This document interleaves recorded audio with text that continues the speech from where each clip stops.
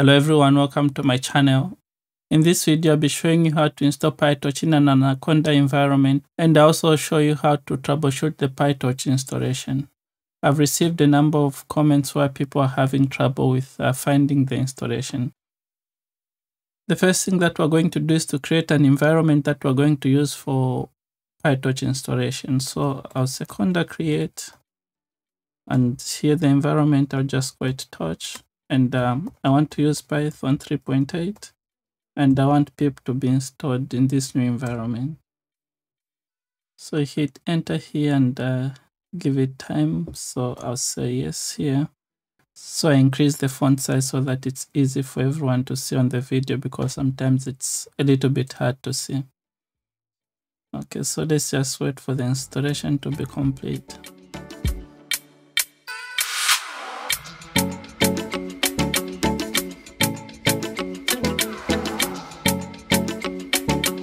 Okay, so now the installation is complete. So the first thing that we want to do is to ensure that we've activated our environment before we go to the installation. Sometimes people make a mistake just after creating an environment, they start the installation process. So the first thing is we have to activate our environment. So I called it torch because we're going to install PyTorch. So as you can see here, the activated environment is shown here. I'm on a Mac, so this is a torch, but on Windows and also Linux, you see nearly the same thing. So just here, if you want, you can check which modules are installed in this environment. So you can just say pip list and you see what's installed in this environment. So for now, you see that there are just uh, three modules that are installed, certifi, pip, setup tools, and wheel. You can do the same even with Conda. You, you do Conda list and it will show you all the modules that are installed. Although with Conda, you see a lot more information. So let me just uh, zoom out a little bit. So the next thing that we want to do now is to install uh, PyTorch. So I'll just go to the PyTorch website. Uh, so now this is the PyTorch website. I'll put the link in the description. So what we want to do is to download the stable release. I'm on Mac, so here I selected Mac. And I want to use Conda for the installation, but you can also use pip if you want. And if you're on Linux, select Linux. If you're on Windows, select Windows. And uh, here we're installing it on the CPU and this is Python. So Python selected here, but I'm on Mac, so I'm going to select uh, Mac here. And I want to use Conda for the installation. So uh, it gives you this command that you can run in your terminal or in your command prompt if you're on Windows. So I just paste this link in, in the terminal and hit uh, install.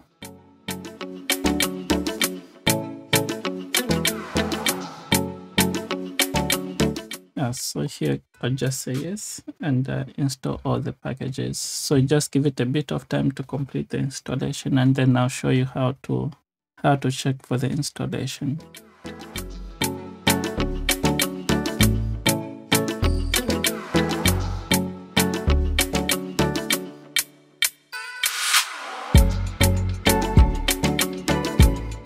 Yeah so the installation is now complete. So if you do conda list we should be able to see a pytorch installed.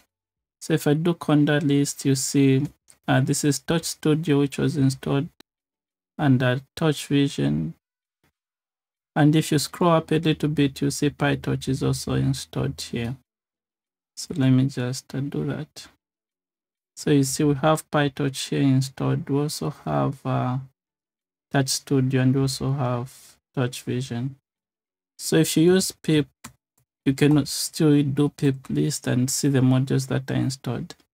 So even with pip list, you see, you see uh, with pip it shows a torch instead of PyTorch and then uh, torch audio and also torch vision. So this shows you that uh, PyTorch is installed. So you can check whether now, the next thing I think where most people are having trouble is now, after they complete the installation, is to find the actual installation of PyTorch or to use PyTorch. Uh, so now to check if PyTorch is installed, uh, we can do this uh, in several ways. So one of the ways is um, we just try to run the command just within uh, within the terminal. So we say import torch. So here, something important to note is, um, so if you're using pip, you see that this is torch, torch audio. So when you're installing it, you use PyTorch. So that's just to say uh, torch for Python. But once you want to import or to use the package in your Python, you really don't need to put the Py. It's just torch. So just be careful when you import that you're not you're importing torch and not PyTorch.